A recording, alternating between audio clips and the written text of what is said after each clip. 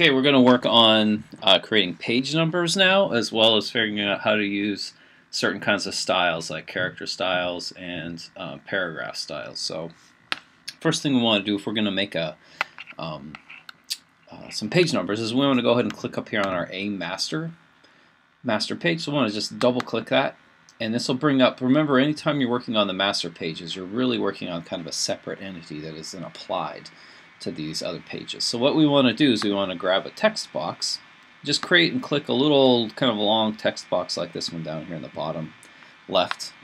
And then that's going to place text there. And if we place like hi on this, hi would appear on all of our pages that we applied this to. But what we're going to do instead is we're going to go up here to type and we're going to go to insert special character. We're going to go to marker and we're going to go to current page number. So we're just going to tell the um, InDesign that this master page we want to make sure we have a, um, a page number applied there. And it's just going to give you an A which is fine. That's that's just what you want. Um, you also want to go over here to the second master page. We want to go ahead and like kind of a and uh, draw another text box there.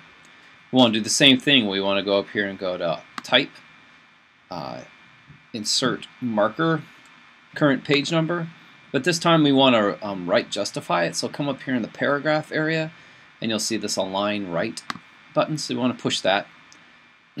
so now we should have, you know, an A here and an A there. And that's basically going to give us our current um, page number. So if you click down here on this, you'll see that my first page, which is basically the front cover, is going to have no master page applied to it. But if I grab it and drag that down there, it should give me that master page. If I want to get rid of it, I can click here and go back over and you'll see it gets rid of it. So here we have page 2 um, on my second page. I don't really want page 1 on my first page, right? Page 3 should have page 3. If I click through the rest of these, you'll see 4, 5, 6, 7. Then when I get down here to page 8, it has the 8 has the page number on it, but I don't want that. That'll be the back cover.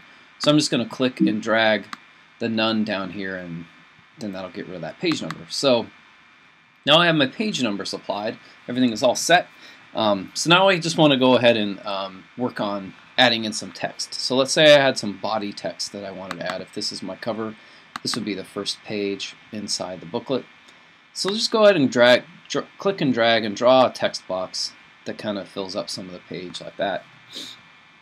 what you can do is you can cut and paste text off of out of Word documents. You can Anyway, you can type it, whatever you want to do. But if you wanted to place text in here, you would just go up to File, Place, and we would go to our Word document. So I'm going to grab a Word document that I've got in here. It has a bunch of um, you know body text that's in it. And I'll just click Open on that.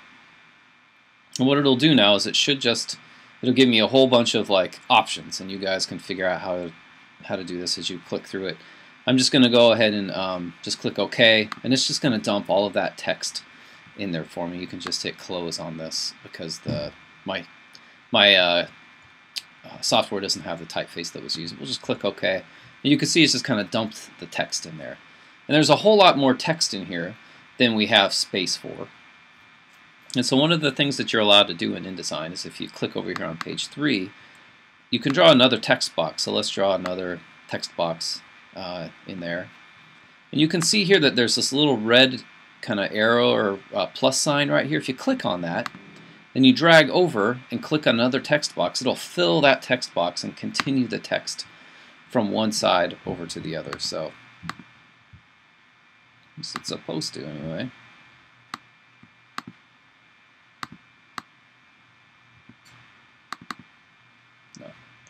Oops.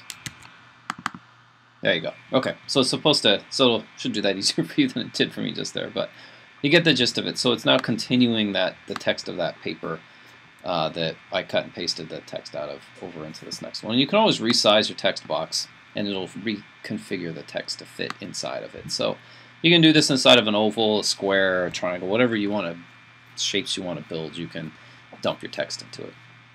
Okay, you can see this looks terrible right now, like it hasn't brought over formatting very well. It's kind of all messed up. So I'll have to go through and fix that.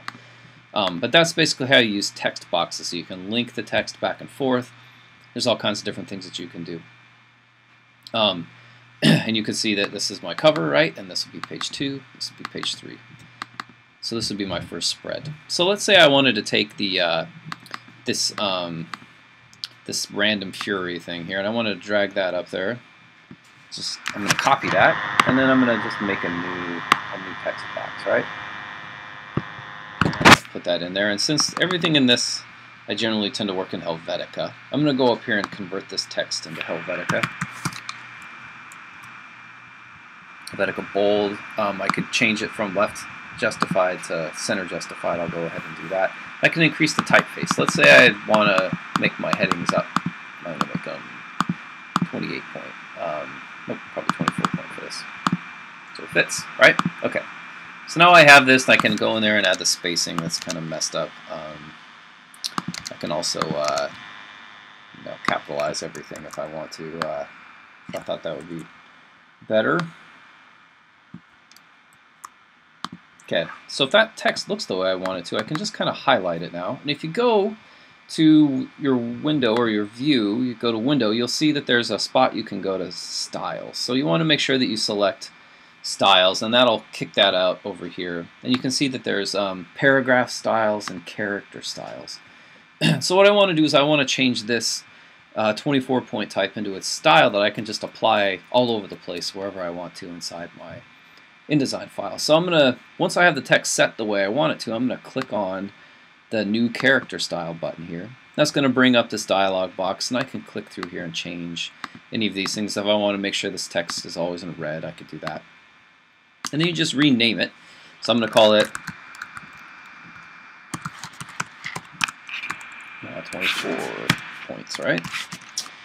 And then I just will, uh, I'll click OK and you can see that that'll now populate over here. And if I want, I can select any of the rest of this type and I can hit Helvetica 24 point and it should automatically change that into uh, 24 page, 24 point type. So it's a way just basically to, if you have sort of a typeface look that you want to make sure that you, uh, you're keeping, you can go ahead and just make a character style and that'll just adjust every single character that you apply that typeface to.